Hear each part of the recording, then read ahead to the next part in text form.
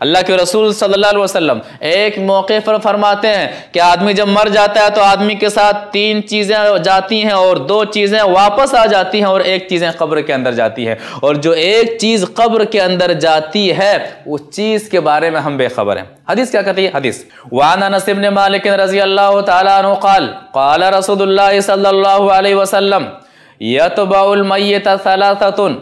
अहलुहु वलदुहु अहलुहु वलदुहु अमलु फयरजिउ इथनाने व यबqa वाहिद यरजिउ अहलुहु वलदुहु व यबqa अमलु रवाहुल बुखारी फ़ी किताब रिकाक बुखारी शरीफ की हदीस है रावी हदीस जैसा कि पता चला हज़रत अनस बिन मालिक रज़ी अल्लाह तहो हैं वो फरमाते हैं कि अल्लाह के रसूल सल्लल्लाहु अलैहि वसल्लम ने फरमाया यतबाउल मय्यत सलासा आदमी जब मर जाता है तो मैयत के पीछे तीन चीज़ें जाती हैं आलू उसके घर वाले जाते हैं, दफनाने जाते हैं।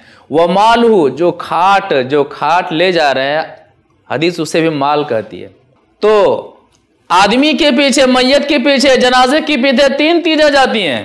तीन चीज़ें जब जाती हैं तो दो चीज़ें वापस आ जाती हैं, एक चीज़ें कब्र के अंदर रहती हैं।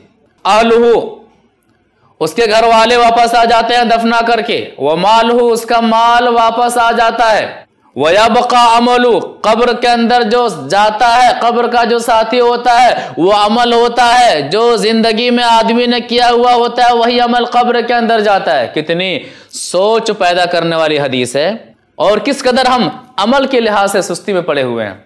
आदमी अपने घर वालों के चक्कर में पड़ करके अमल करना छोड़ देता है।